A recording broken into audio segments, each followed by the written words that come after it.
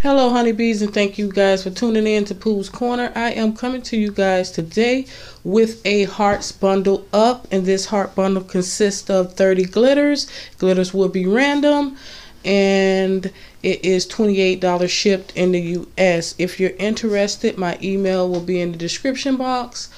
And uh, if you have me on Facebook. You can just message me.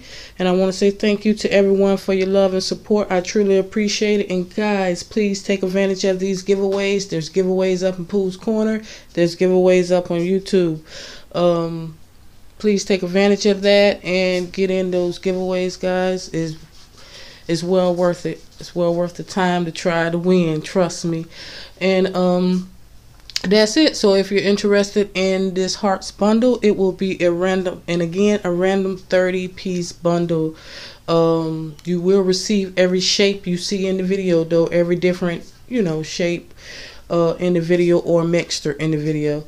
And that's it. You guys have a blessed day. Bye bye